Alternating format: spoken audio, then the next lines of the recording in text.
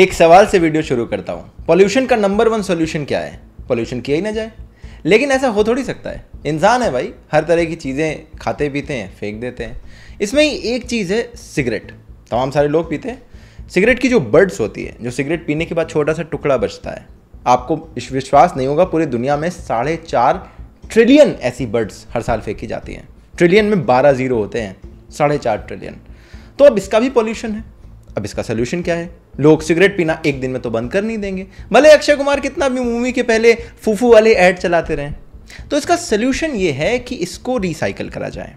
अब cigarette birds को recycle करके कोई कैसे इनोवेटिव चीज़ें बना सकता है, इसका उदाहरण दिया है नमन जी ने, जो कि नोएडा में रहते हैं और यहाँ पर अपनी कंपनी चलाते हैं। बड़ी इंटरेस्टिंग कंपनी है। इसका नाम ही इंटरेस्टिंग है। कोड नाम है इस कंपनी का, जिसका फुल फॉर्म है कंजर्व अवर डिप्लीटिंग एनवायरमेंट तो एक कोड एफर्ट नाम की कंपनी सिगरेट बर्ड्स कलेक्ट करती है हर साल, और उससे मच्छर भगाने वाले कार्ड से लेकर बच्चों के खेलने वाले खिलौने के अंदर भरने वाली रुई, ये सब बनाई जाती है। दरअसल अगर आप कभी सिगरेट बर्ड्स को ध्यान से देखें तो ऊपर जो कागज़ अगर आप हटाएँगे तो अंदर लगता है इसमें तो रुई भरी होगी। नहीं, उसके अंदर होते हैं माइक्रो प्लास्टिक्स और उसमें मिले होते हैं भयंकर केमिकल्स और इस माइक्रो प्लास्टिक भरे हुए भयंकर केमिकल के बर्ड्स को कलेक्ट करते हैं नमन। इनकी कंपनी ने छोटे छोटे कलेक्शन बॉक्सेस बनाए हुए हैं। और ये कलेक्शन बॉक्सेस इन्होंने तमाम सारी दुकानों में इंस्टॉल कर दिए। तो ये हर दुकान से सिगरेट बर्ड्स को कलेक्ट करते हैं।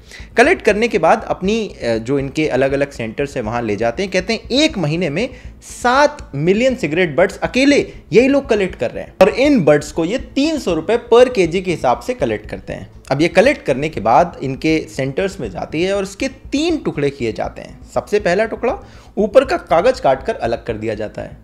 दूसरा पार्ट इसमें जो थोड़ी सी टोबैको बचती है, उसको अलग कर दिया जाता है। तीसरा पार्ट इसके अंदर जो रुई जैसी माइक्रोप्लास्टिक होती है, उसको अलग कर दिया जाता है।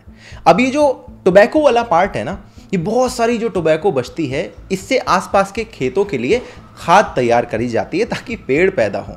तो एक ऐसी चीज़ जो पहले आपके लिए गंदगी पैदा कर रही थी, अब आपके लिए खाना पैदा करने के लिए यूज़ होने जा रही है। दूसरा पार्ट जो ऊपर का कागज़ होता है, इसको ये इकट्ठा करते हैं, फिर इसमें एक ऐसा केमिकल मिलाते हैं, जिससे इसके अंदर की जो खतरनाक चीज़ें हैं, वो दूर हो जाए, ये लोगों के लिए, स्वास्थ्य के लिए हानिकारक ना बचे, और उस केमिकल को मिलाकर इसका एक पेस्ट तैयार करा जाता है, और इसे छोटे छोटे एक सांचे होते हैं, उसके ऊपर पूरा पतला पतला फैलाया जाता है, धूप में सुखाया जाता है, फिर इसके छोटे छोटे टुकड़े काटे जाते हैं, और ये छोटे छोटे कार्ड एन मॉस्क के नाम से बिकते हैं। यानी कि नो मस्कीटो और ये मस्कीटो रिपेलेंट कार्ड ऐसे हैं कि इसमें आपने आग लगा कर रखी और पूरे घर में जो इससे धुआँ उठता है, उससे सारे के सारे मस्कीटो अपने आप भाग जाते हैं। यानी कि पहले एक ऐसी चीज़ जो सड़क चलते आपके लिए मुसीबत का सबब बनी थी, वो अब आपके घर की मुसीबत को घर से बाहर भगाने के काम में आ रही है।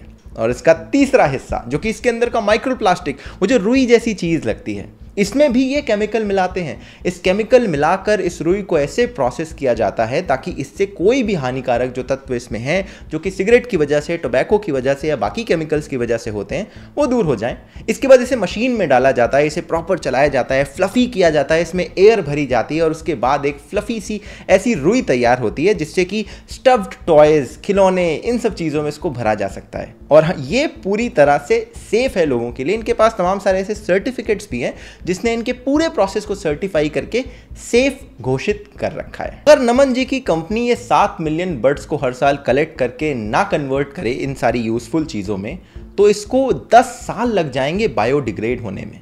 और ये हर साल जो नई नई सिगरेट बर्ड्स फेंकी जाती हैं आप समझ सकते हैं पोल्यूशन के मामले में एक कितनी बड़ी समस्या है जो कि पूरी दुनिया को घेरे हुए है। और इतनी बड़ी ग्लोबल समस्या के एक छोटे हिस्से को ही सही, मगर उसे सॉल्व करने की हिम्मत इस कंपनी ने दिखाई और ये कहानी मुझे लगता है बहुत इंटरेस्टिंग है। जब मुझे इस कहानी के बारे में पता चला, मैं इतना इंप्रेस हुआ, मुझे भी लगा, यार, कुछ ऐसी चीज़ जो आपके आइडिया को बिज़नेस में कन्वर्ट कर सके, ये तो स्किल सबके पास होनी चाहिए। इसीलिए आजकल मैं गाई कवासाकी की एक क्लास आपने आइडिया को बिज़नेस तक कैसे ले जाएँ, वो देखकर इस चीज़ के बारे में सीख रहा हूँ। आपने ये जो कहानी अभी अभी सुनी आई एम श्योर आप इसे दूसरों तक पहुंचाएँगे। Now let me talk about the sponsor of the video Skillshare जिन्होंने दो वजहों से इस वीडियो को पॉसिबल बनाया है।